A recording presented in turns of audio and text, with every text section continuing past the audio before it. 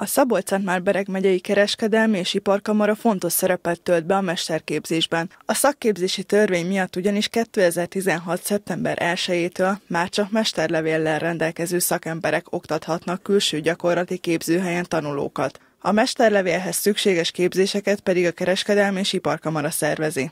A magasabb szakmai felkészültséget garantáló mestervizsga rendszerét nem csupán a tradíciók és törvényi előírások, hanem a kor követelményei is fontossá teszik. A mesterképzésnek szerves része a sikeres vállalkozáshoz szükséges vezetési ismeretek és a tanulóképzéshez elengedhetetlen pedagógiai ismeretek elsajátítása. 2017-ben megyékben hat szakmában indítottak mesterképzéseket, szakácsok, pincérek, autószerelők, autófényezők, karosszéria lakatosok és villanyszerelők szerezhettek mesterlevelet.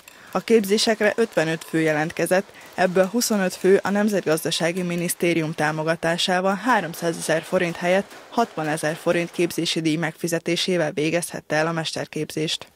2014-től kezdődően folyamatosan szerveztük a mesterképzéseket, így az elmúlt három év alatt 470-en szereztek mesterlevelet. 2015-ben egyébként több mint 270-en kapták meg ezt a jogosultságot, és ugye szerezték ezt a mesteri címet meg. Ezt követően a, a többi években is folyamatos volt a mesterképzés, a mestervizsgáztatás.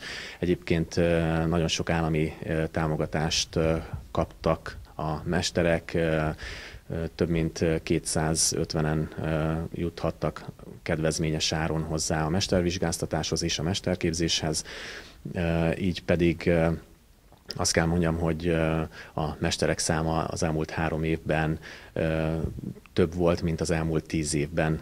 Az utóbbi évek bebizonyították, hogy a szakmák fejlődése, a megváltozott gazdasági versenyhelyzet új elvárásokat támasztanak a szakemberekkel és a vállalkozókkal szemben.